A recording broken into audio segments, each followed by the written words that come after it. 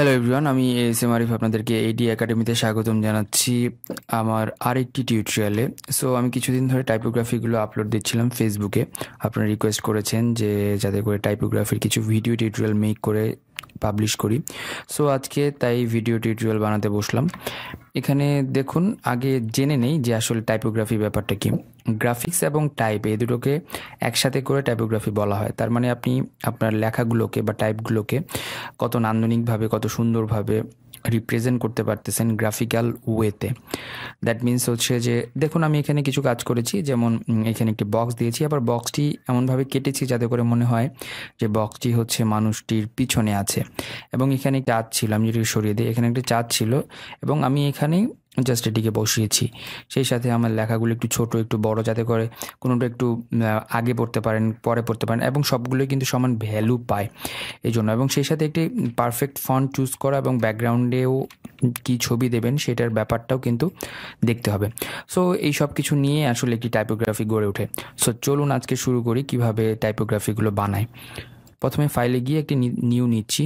নিয়ে গিয়ে প্রথমে আমি লিখব কিছু। তো থাউজেন্ড বাই থাউজেন্ড পিক্সেলের একটি আর্টবোর্ড নিয়ে নিলাম। তো এখানে আমি একটি গানের চার লাইন লিখব। সো গানের এখানে আমি লিরিক লিরিকটি হচ্ছে ফসিলসের একটি থেকে। যেমন আমি নিয়েছিলাম হচ্ছে আরও একবার, হাতটা ছুঁয়ে দেখ, আজও আমাদের ইচ্ছাগুলো এক। ওকে তাহলে আমি এইটা নিতে পারি। সো কপি করলাম। কপি করার পরে আমি জাস্ট এখানে টেক্সট টুলে গেলাম, যাওয়ার পরে ব্ল্যাক কালার করে স্ট্রোক অফ করে দিচ্ছি ফিল কালার ব্ল্যাক রাখছি। জাস্ট এখানে একটি এরিয়া সিলেক্ট করে আমি এখানে লিখলাম। সো এখানে যে ফন্টটি ইউজ করব, এই ফন্টটি কিন্তু হচ্ছে আপনার ইউনিকোড ফন্ট সো এখানে অখণ্ড বাংলা নামে একটি ফন্ট আমি ইউজ করব। সো সেই ক্ষেত্রে এটিকে আমি আগে ঠিক করে নেব। এখানে দেখুন ভেঙে গিয়েছে। আর একবার হাতটা ছুঁয়ে দেখ। তো, এ কার্ডটা চলে গিয়েছে। সো, এটাকে কেটে আমি যদি আগে নিয়ে আসি। সো, এটিকে হচ্ছে, এখানে একটি এ একার দিতে হবে।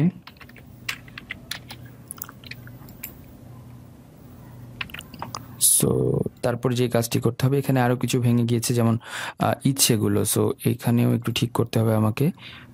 এ কার্ডটি আমি কেটে প্রথমের দিকে দিয়ে দিচ্ছি গুলো যেগুলো আছে। এখানে এটি বাদ দিয়ে দিব। এখানে, এখান থেকে কপি করলাম। কপি করে এখানে দিচ্ছি। আর এখান থেকে আকারটা নিয়ে আসব কপি করে। সো হয়ে গেল। আমার এখানে লিখার কাজটি হয়ে গেল। এখন যে কাজটি করব, দেখুন, এখানে আমি হচ্ছে কিছু লিখেছি এরকম যে কিছু বোল্ড কিছু লাইট সো কিছু বোল্ড আর লাইট করে নিই। তার আগে বুঝতে হবে যে আমি কীভাবে সাজাবো জিনিসটাকে।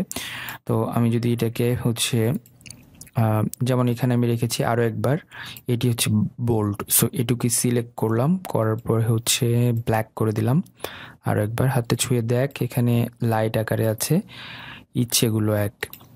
আজও আমাদের এই কথাটি বোল্ড সো এখানে একটু ঠিক করতে হবে। এটাকে আজও আমাদের, ওকে।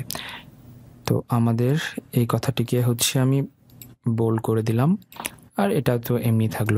সো এখন আমি ক্রিয়েট আউটলাইন করে ফেলছি এবং রাইট প্রেস করে আনগ্রুপ করছি এবং হচ্ছে এখানে যেটি আছে, এটিকে আমি গ্রুপ করে ফেললাম সব কিছু মিলে। সো গ্রুপ করছি, এটিকে একটি গ্রুপ করে নিচ্ছি। এবং আজও আমাদের এই কথাটিকে গ্রুপ করে নিলাম। ইচ্ছেগুলো এক গ্রুপ করে নিলাম।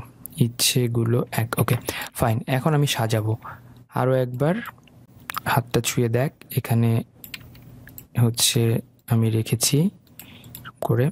আজও আমাদের এখানে যেটা আছে, এটি আর একটু বড়। কথাটি আর একটু বড় হবে।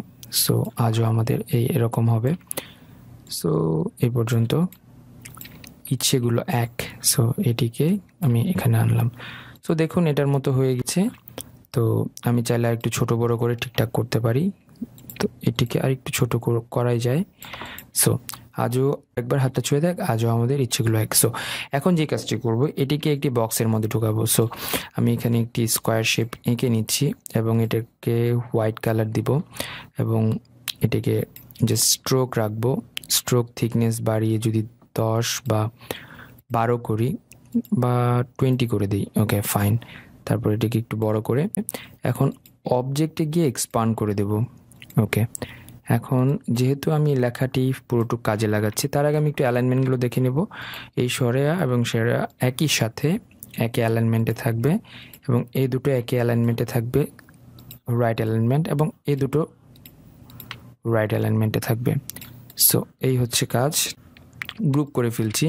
তারপরে আমি এটিকে এখানে নিয়ে আসব। সো যদি এভাবে সাজাই, তো এভাবে আমরা সাজাতে পারি। সো এখান থেকে আমি এই অংশটুকু যদি কেটে দেই, তো সেই ক্ষেত্রে আমি এখানে আরেকটি রেক্টেঙ্গেল টাইপ নিয়ে নিচ্ছি। নেওয়ার পরে বক্সটি এবং এইটি সিলেক্ট করার পরে পাথফাইন্ডারে গিয়ে জাস্ট আমি কেটে দেবো। তো পাথফাইন্ডার টুলটি পাবেন হচ্ছে উইন্ডোতে গিয়ে এবং অ্যালাইনমেন্ট টুলটিও হচ্ছে উইন্ডোতে গিয়েই পাবেন। সো দুটিকেই সিলেক্ট করতে হবে আদারওয়াইজ আপনি কাটতে পারবেন না। সো কেটে দিচ্ছি। তো এটিকে আমি হোয়াইট কালার দিয়ে দিই, যেহেতু আমাদের এখানে হোয়াইট কালার ইউজ করেছি আমি। ওকে ফাইন আরও একবার হাতটা ছুঁয়ে দেখ, আজও আমাদের ইচ্ছেগুলো এক। সো আমার এটি কাজ হয়ে গেল। এখন এটি আমি আমার এই যে ছবি আছে, ছবিটির ওপর বসাবো। সেই ক্ষেত্রে আমি কি করব?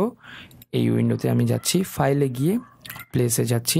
প্লেসে গিয়ে আমি ছবিটিকে ইম্পোর্ট করব। সো ছবি আমি ডাউনলোড করেছি পিক্সেলস ডট কম থেকে। সো আপনারা চাইলে সেখান থেকে ডাউনলোড করতে পারেন। এটার জন্য আমার ভিডিওর যে ডিসক্রিপশন আছে বা ডিটেল আছে, এটি চেক করলেই আপনি পেয়ে যাবেন। সো এটিকে পেছনের সাইডে পাঠাচ্ছি।